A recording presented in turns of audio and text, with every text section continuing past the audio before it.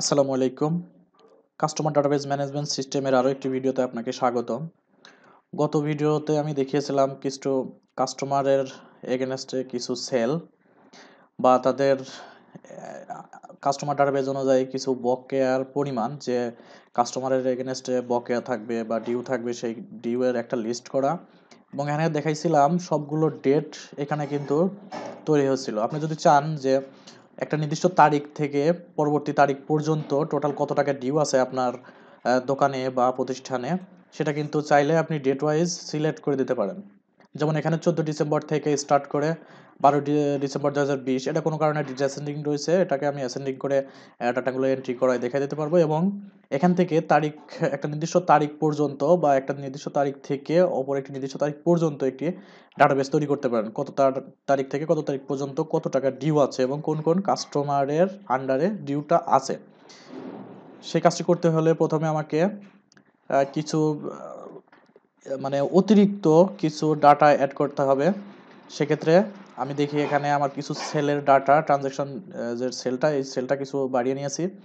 এখানে আপনাদের ডিউ আছে সম্ভবত বিশ বাইশটা ডিউ এখানে অ্যাড করে নিয়েছি। আমি আজকে এই কাজটা করার জন্য আমাকে প্রথমে একটি টেবিল ক্রিয়েট করা লাগবে স্টার্ট ডেট এবং ইন ডেট দুটা ডেটের জন্য একটা ছোট্ট একটা বক্স বা টেবিল এখানে আমি ক্রিয়েট করব। প্রথমে টেবিল থেকে এখানে আমি টেবিলটা সেভ করব। এখানে টেবিলের নাম দিব হচ্ছে ডিউ ডেট। Due date. এবং টেবিলটার আমি যদি ডিজাইন মোডে যাই, এখানে প্রাইমারি কি আছে, প্রাইমারি কিটাকে রিমুভ করে দিব।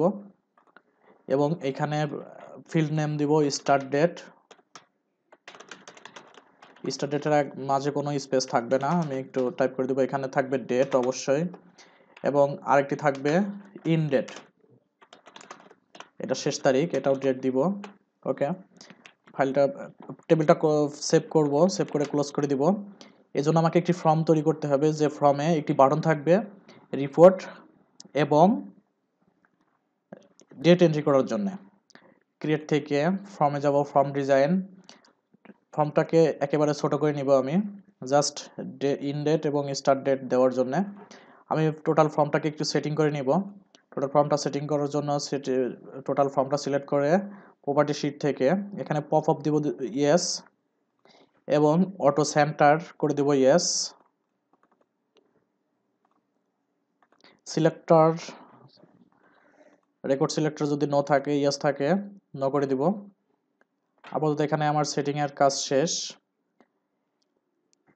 রেকর্ড সোর্স থেকে সিলেক্ট করে দিব ডিউ টেবিল এবং অ্যাড এক্সিস্টিং ফিল্ড থেকে টোটাল দুটা ফিল্ড আমি এখানে ড্রাগ করে দিব। ড্রাগ করে দিয়ে অ্যারেঞ্জ থেকে একটু প্রাইমারিভাবে সেটিং করে নিব। স্টার্ট ডেট এবং ইন ডেট দুটাকে একটু কালার করে দিব আমি। ব্যাকগ্রাউন্ডে একটু কালার দিয়ে দিব বোঝার জন্যে। ফরম্যাট থেকে ফিল কালারটা ফর কালারটা ফুল হোয়াইট দিয়ে দিব। Style bold font name Arial okay alignment centre করে দিব। ডেটা কলামটা একটু বড় করে দিব। এবং এখানে একটা লেভেল লাগিয়ে দিব। ডিজাইন থেকে লেভেলটা হবে date wise due list okay লেভেলের একটু ফন্ট সাইজ বাড়িয়ে দিব। কোনো বর্ডার থাকবে না আউটলাইন নান করে দিব। ট্রান্সপারেন্ট করে দিব। ফন্ট সাইজ দিব একটু বড়, এটা থেকে অবশ্যই বোল্ড করে দিব।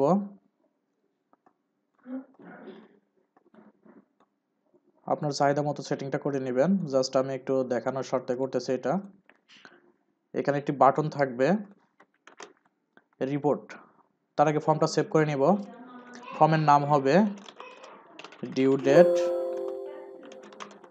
ফর্ম এখানে একটি বাটন অ্যাড করব। তার আগে বাটন অ্যাড করার জন্য আমাকে আগে একটি রিপোর্ট ডিজাইন করে নিতে হবে। ফর্মের নাম ডিউ ডেট ফর্ম এর উপর একটি ফর্ম আমি একটি রিপোর্ট ক্রিয়েট করব ক্রিয়েট রিপোর্ট ক্রিয়েট করার আগে আমাকে আগে কোয়ারি সেটিং করে নিতে হবে বা কোয়ারিতে আমি শর্ত দিয়ে দিব যে এবং শুরুর তারিখ এবং শেষ তারিখ। এর মধ্যে যদি কোনো ডাটা এখানে থাকে ট্রানজ্যাকশন টেবিলের মধ্যে, শুরুর মানে কোন একটা তারিখ শুরুর তারিখ এবং শেষ তারিখ ট্রানজাকশন ডেট এখানে যদি কোনো শুরুর তারিখ এবং শেষ তারিখ থাকে, তার মধ্যে যেন ডাটা যে ডাটাগুলো আছে সেগুলো আমাকে এখানে দেখাবে।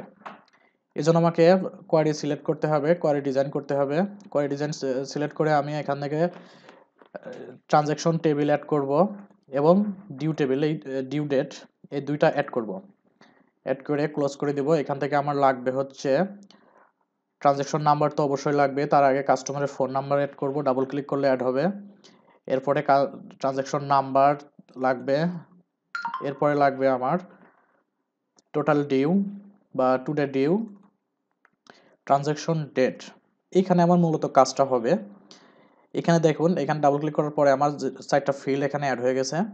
এখন এখান থেকে যে টেবিলটা অ্যাড করছি, এই দুইটা ফিল্ডের কাজ এখানে শর্তে দিয়ে দিব। দেখেন ক্রাইটেরিয়া ক্রাইটেরিয়াতে যেটা আছে, এই এই ফিল্ডে এই রোতে আমি এই ক্রাইটেরিয়া অ্যাড করব।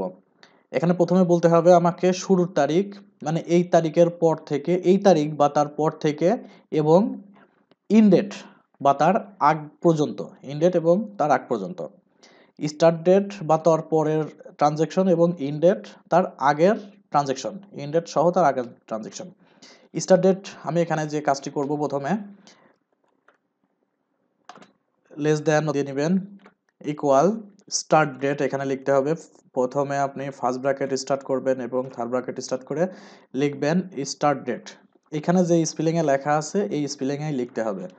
স্টার্ট ডেট আবার থার্ড ব্র্যাকেট ক্লোজ করে ফার্স্ট ব্র্যাকেট ক্লোজ করবেন স্পেস দিবেন টাইপ করবেন অ্যান্ড অ্যান্ড টাইপ করে আবারও শর্তটা দিতে হবে ইনডেট বা তার আগ পর্যন্ত। এখন এখানে দিব end date equal greater than equal first bracket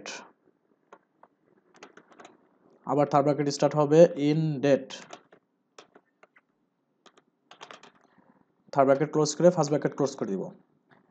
এখানে দেখুন এইটা, এই ফর্মুলাটা বা এই শর্তটা আপনি এখান থেকে একটু জুম করে নিয়ে দেখতে পারেন। ফন্টটা একটু বড় করে দিই আমি জুমটা একটু দেখিয়ে দিই। দেখুন এখানে কীভাবে শর্তটা দেওয়া হয়েছে। স্টার্ট ডেট বা তার পরে এবং ইন ডেট বা তার আগে। ইন ডেট যেটা দিব আমি সেই ডেট সহ তার আগ পর্যন্ত আইটেমগুলো দেখাবে এবং স্টার্ট ডেট এবং তার পর পর্যন্ত আইটেমগুলো দেখাবে। ওকে এখন আমি যদি কোয়ারিতে এই কোয়ারিটা সেভ করি সেভ করার জন্য কন্ট্রোল এস এবং কোয়ারিটা দিই date wise due Q R Y query okay save করলাম। এখন কোয়ারিটা যদি আমি ক্লোজ করে দিই, সবগুলো ক্লোজ করে দিব। তার আগে আমি ডিউ ডেটে একটি ডেট বসিয়ে দিব। স্টার্ট ডেট কত দিব? স্টার্ট ডেট হচ্ছে এক তারিখ থেকে, ডিসেম্বরের এক তারিখ থেকে ইন ডেট দিব আজকের। দেখুন, আমার এর পরবর্তীও কিছু ডাটা অ্যাড করা আছে। আমি জাস্ট আজকের ডেট দিয়ে দিব এবং দেখি আমার কোয়ারিটা কাজ করছে কিনা। ডেট ওয়াইজ ডিউ কোয়ারি দেখুন, এখানে শুরুর তারিখ এবং শেষ তারিখ। আমি একটু এখানে অ্যাসেন্ডিং করে দিব। দেখুন কোয়ারিটা ডিজাইন মোডে নিয়ে এইখানে যে শর্ট শর্টের যে রোটা আছে, এখানে মাউস রাখলে আপনাকে অ্যাসেন্ডিং ডিসঅ্যাসেন্ডিং সাজেস্ট করবে, আপনি অ্যাসেন্ডিং দিয়ে দিবেন। দিয়ে ক্লোজ করে দিবেন। এরপরে আবার যদি দেখি ডেট ওয়াইজ কোয়ারিটা আমি ওপেন করে দেখি, দেখুন, এক তারিখ থেকে উনিশ তারিখ পর্যন্ত আছে। আমার বিশ তারিখে কোনো ট্রানজেকশন নাই দেখে বিশ তারিখে কোনো ট্রানজেকশন আসে নাই।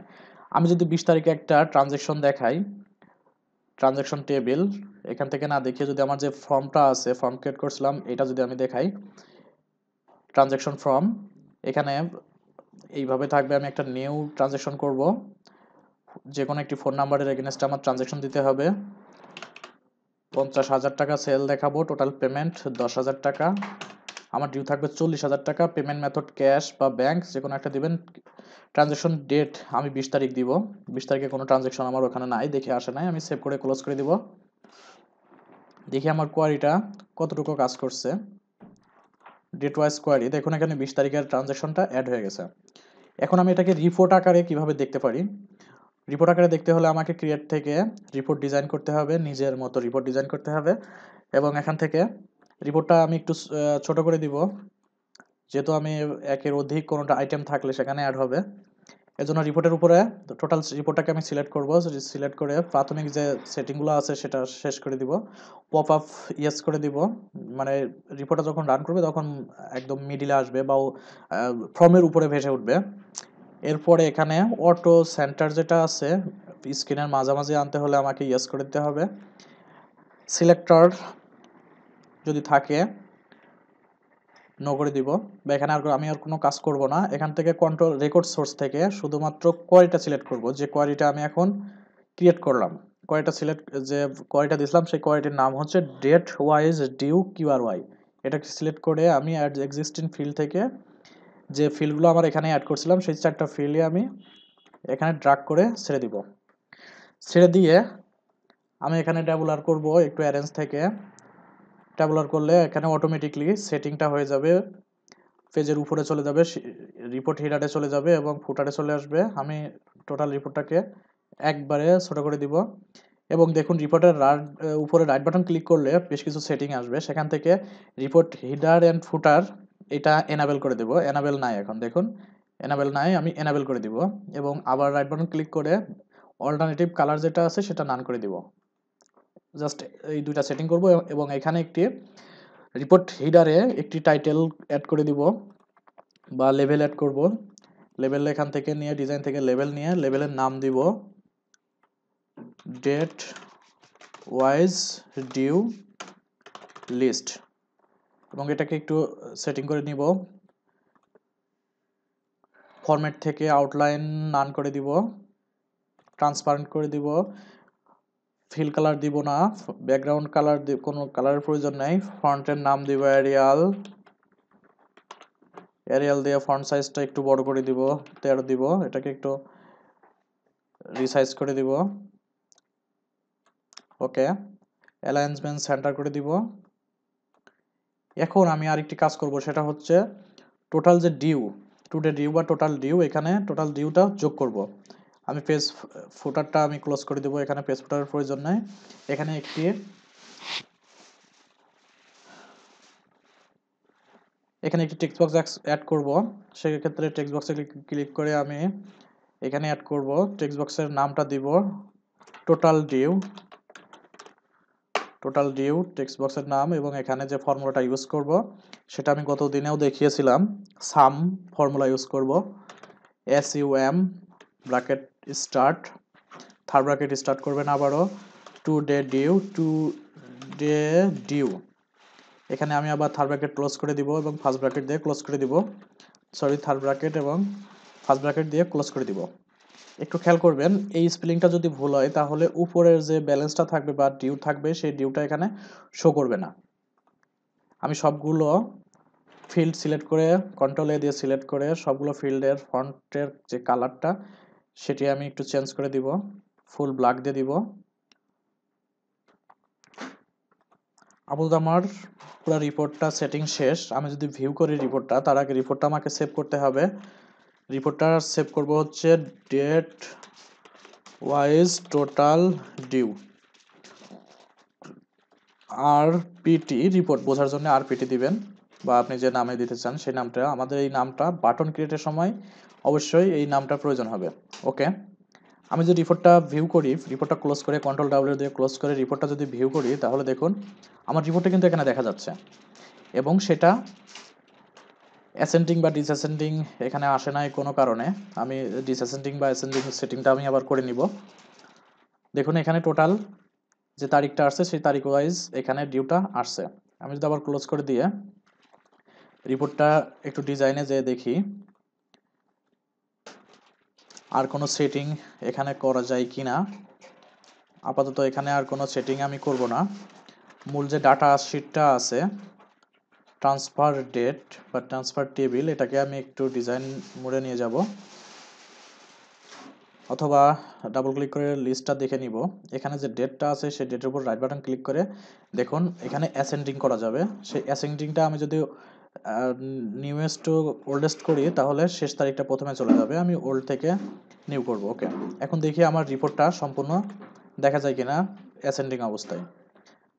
আজকের ভিডিওটি দেখার জন্য অনেক ধন্যবাদ। আর কাস্টমার ডাটাবেস ম্যানেজমেন্ট সিস্টেম নিয়ে যারা কাজ করতে চান, কোনো ফর্ম বা ইন টোটাল ম্যানেজমেন্ট সিস্টেমটি করতে চান, অবশ্যই আমার চ্যানেলের পূর্বের ভিডিওগুলো দেখে আসবেন। পরবর্তীতে কাস্টমার ম্যানেজমেন্ট নিয়ে আরও কিছু ভিডিও আসবে।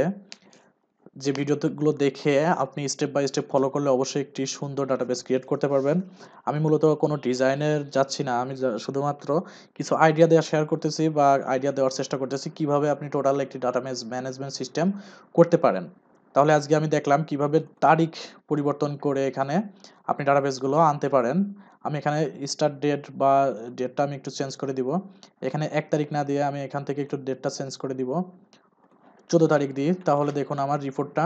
চোদ্দ তারিখে যে রিপোর্টটা, সেই রিপোর্টটা আমার চোদ্দ তারিখ পর্যন্ত আসছে কিনা দেখুন। চোদ্দ তারিখের উপরে আর কোনো রিপোর্টার নাই। সো আমার ডেট ওয়াইজ কাজ করতেছে। আপনি এই রিপোর্ট শিটটাকে আরও সুন্দর মতো ডিজাইন করে নিতে পারেন। আজকের ভিডিও পর্যন্তই। ভালো থাকবেন। আর হাসান মাহমুদের যে চ্যানেলটি আছে এক্সেল মাহমুদ নামে একটি ইউটিউব চ্যানেল আছে, অবশ্যই সাবস্ক্রাইব করবেন। আপনি যে চ্যানেল থেকে ভিডিওটা দেখতেছেন, এই চ্যানেলটি আর আপনার যদি কোনো কোয়ারি থাকে বা কোনো কোশ্চিন থাকে মাইক্রোসফট অ্যাক্সেস নিয়ে, আপনি এখানে এক্সেল ভিডিও পাবেন। যদি আপনার অ্যাক্সেস নিয়ে কোনো ভিডিও বা অ্যাক্সেস নিয়ে যদি কোনো কোশ্চিন থাকে অথবা এই ভিডিওতে যদি কোনো কিছু না বুঝে থাকেন, তাহলে অবশ্যই আমার এক্সেল মাহমুদ গ্রুপে জয়েন করবেন এবং এই গ্রুপের যে সকল পোস্ট আছে আপনি একটু ফলো করবেন অথবা আপনার সমস্যাগুলো এই গ্রুপে পোস্ট করবেন। তাহলে আশা করি আপনার কোয়ারি অনুযায়ী ভিডিও পাবেন অথবা প্রশ্নের সমাধানটা পেয়ে যাবেন। ভালো থাকবেন। আজকে পর্যন্তই আল্লাহ হাফিজ।